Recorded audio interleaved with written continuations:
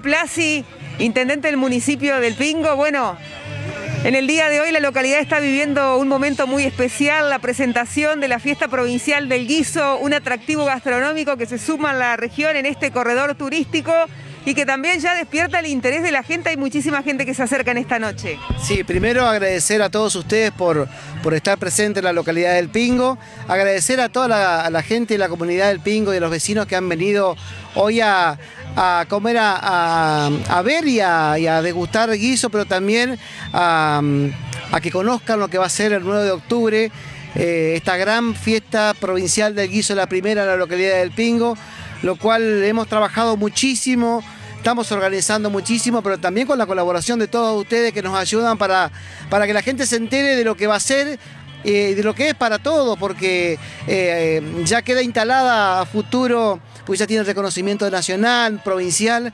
eh, y necesitábamos tener esta, esta oportunidad y gracias a Dios la vamos a llevar adelante ahora el 9 de octubre. Con un concurso gastronómico. Sin duda, porque nosotros queremos que la gente venga a cocinar eh, todo tipo de guiso. El guiso eh, para todos los que eh, lo hemos criado en el interior sabemos lo que es para para toda la familia sentarse a comer un plato de guiso. Entonces, a veces el guiso em, eh, como era manifiesta y se ve plasmado en lo que es la familia, los compañeros, los amigos, eh, porque cuando cada vez que nos sentamos o nos queremos juntar decimos vamos a comer un guiso. Bueno, anoche comimos un guiso con los amigos y hoy obviamente va van a estar cocinando para que la gente pueda degustar. Así que estamos muy contentos eh, y felices de que podamos empezar de una vez eh, el tema de, los eventos culturales. El 9 de octubre van a estar participando por equipos. ¿Cómo va a ser el concurso? ¿Cómo lo han ideado? Bueno, mira, eh, yo en ese sentido estoy eh, tocando de oído porque hay un equipo de, chicos que está trabajando, pero la verdad que creo que van a ser en diferentes etapas porque la verdad que ha colmado las expectativas y hay muchísimos, había, hay más de 50 inscriptos ya para cocinar y obviamente que se puede llegar a complicar para los jurados, pero bueno, eh, la verdad que todos los que se puedan eh, eh, comer a inscribir, está todavía, está todavía abierta la inscripción hasta el 15 de septiembre. ¿Se conoció la cartelera artística? ¿La podemos adelantar o esperamos después? Vamos a esperar un ratito porque dentro de un rato vamos a anunciar la cartelera eh, cuando comience el evento. En un momento vamos a hacer la presentación de la cartelera para el 9 de octubre. Diego, ¿qué significa esta, esta fiesta después del confinamiento, poder ver gente, si bien con los protocolos y con el distanciamiento, qué significa poder realizar esto en esta comunidad, no? Para nosotros, como dije recién, es un orgullo y un gran desafío, pero también para poder hacer esto eh, se necesitó eh, una excelente política de gobierno del gobierno provincial y nacional con respecto a la vacunación. Si no hubiésemos estado todos vacunados, hoy hubiese sido imposible poder realizar un evento al aire libre como lo estamos haciendo hoy. En esta localidad no hay caso hace un montón de tiempo, estamos todos vacunados con segunda dosis. Eh, en el departamento Paraná y en el, sí, en el departamento Paraná, en la ciudad de Paraná Campaña, hubo solamente 32 casos este, este, el día de ayer. La verdad que cada vez hay menos, hay 120 casos en la provincia y, esto nos da la tranquilidad y la seguridad de que si bien vamos a convivir con esto, lamentablemente porque esta pandemia vino para quedarse, eh, no hay que subestimarla, hay que cuidarse, hay que cuidarse mucho y hay que salir porque ya creo que estamos bastante, está dada la está dada con las garantías necesarias para poder salir a los eventos culturales. Diego, eh, comentanos un poquito brevemente cómo surge eh, esta idea tan innovadora del guiso y bueno, ¿cómo, cómo la llevas adelante?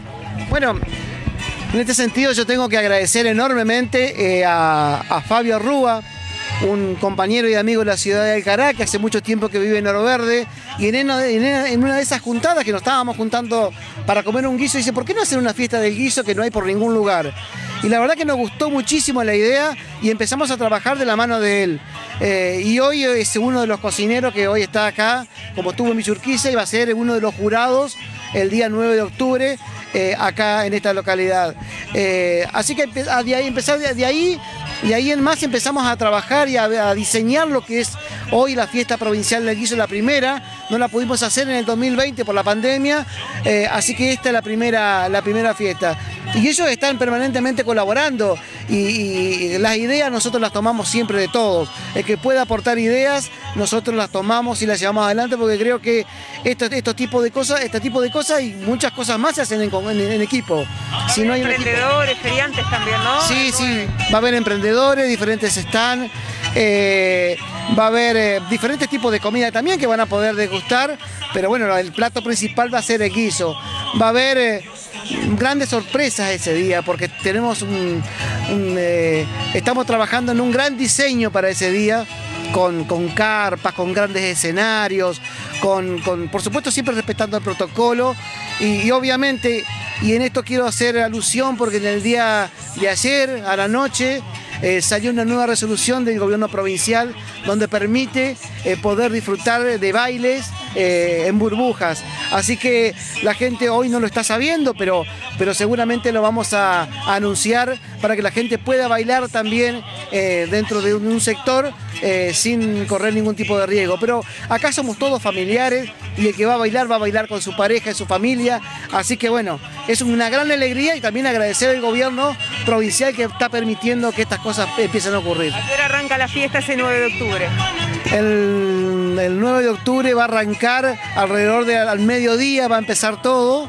eh, para empezar a prepararnos para la gran fiesta y la cocinada que va a ser eh, en horas de la tarde, para cerrar a medianoche con el, ganador, con un er- importantísimo premio que después lo vamos a estar anunciando, eh, y después cierre, el cierre principal con la cartelera que vamos a anunciar hoy. Si bien va a haber algunos grupos durante el día, eh, la gran cierre va a ser eh, con un gran artista nacional que está confirmado y que lo vamos a anunciar en el día de hoy. No, gracias a ustedes, gracias por estar acá y como siempre digo, nosotros podemos realizar diferentes tipos de obras y eventos, pero la importancia del medio periodístico, de los medios de comunicación, es sumamente necesario para que la gente sepa lo que hacemos en cada...